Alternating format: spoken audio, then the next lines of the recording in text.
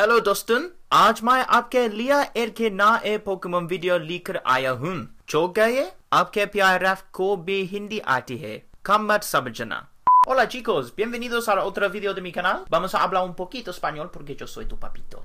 There's no way I just said that, oh my god. Hey, what's going on guys? My name's Raf, and with the announcement of the new Generation 9 Pokemon games, there's a lot of hype surrounding them. Pokemon Scarlet and Violet are the next generation embraced in the world of Pokemon. Seeing as a new generation has been made known, this begins to bring multiple questions to the table regarding the Pokemon anime, especially in relation to Ash's next adventure. For me personally, I reckon Ash is definitely going to go to the new region, and if you want to learn the full insight about this, then be sure to check out the Generation 9 anime series of videos that I've made. Should Ash continue his journey to the new region, then I'm sure we'll be seeing our 10 year old hero catch a bunch of wonderful Pocket Monsters. But what about the starter Pokemon? Today myself and the bro Pokemon Guruji are going to theorise on which new Generation 9 starter Pokemon that Ash may catch in the new Generation 9 Pokemon Scarlet and Violet anime.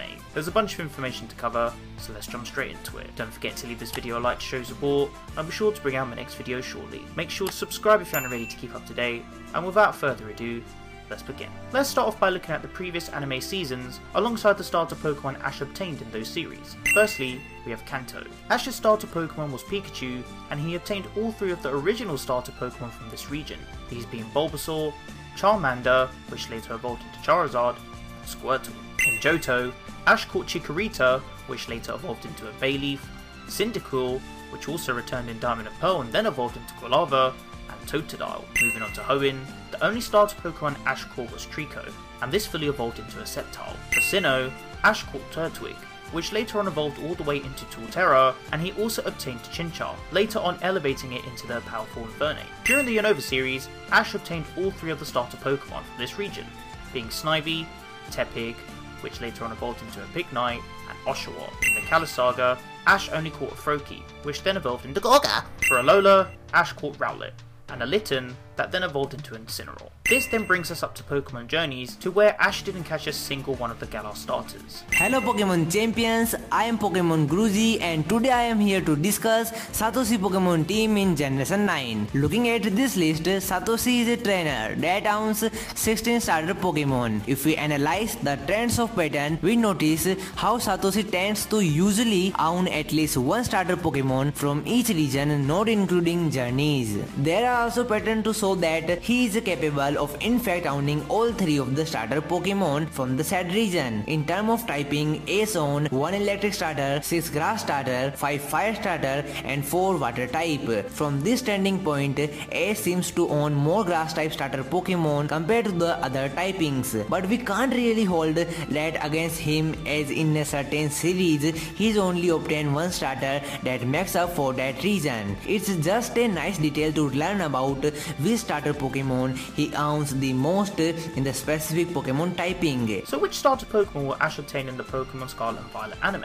Well, let's look at the three cues that represent this region. First up is Sprigatito, a pure grass type Pokemon that is based off a cat, with its name being a combination of sprig, a small stem of leaves, and gatito, which is Spanish for kitten. See? I told you I was going to speak Spanish in my videos. Next up is Fuecoco. This Pokemon is a pure fire type based off a baby Cocoricilla, which could also have some relation to dinosaurs. Its design also resembles an apple or potentially a chili pepper. Fuecoco's name comes from a combination of fuego, no, not that one, and crocodilo, which is Spanish for crocodile. Finally, we have Quaxly, a pure water type Pokemon based on a potential young crested duck. Quaxly's name could be based off a combination of quack, the effective sound ducks make, and or possibly agua, which means water in Spanish, or it could even be the word wax, including the word duckling.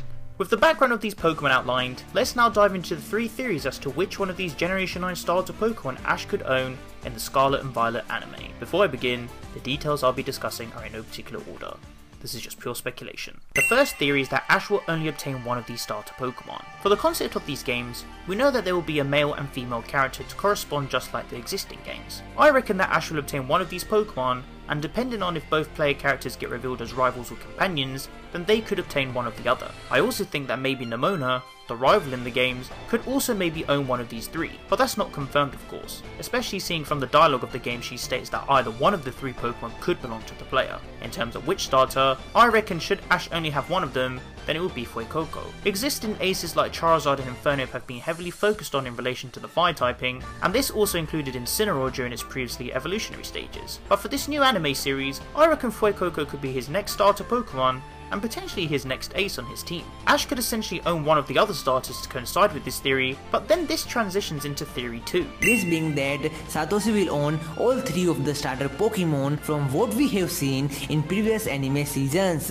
It's been made that evident that Satoshi is perfectly capable of owning all three of the starter Pokemon from the region. I think this will be a great way to kickstart the new anime series with each Pokemon receiving focus and dedicated episode to complement their development stages. We may even see Satoshi evolve all three of these starter Pokemon, making the first series that Satoshi own all three of the starters in their final evolutions. With the anticipation surrounding the new games, that seems to be lot of promising element that could relate to making an outstanding anime series. Satoshi owning all three of these starters could make out for really good narrative in the series and the way they could all be shown with with their unique personalities and traits might be something that will not only entice fans even more but also create some really engaging and wonderfully written episodes. The final theory is that Ash won't attain any of the new starter Pokemon. I really hope this isn't the case though. From what happened with Journeys,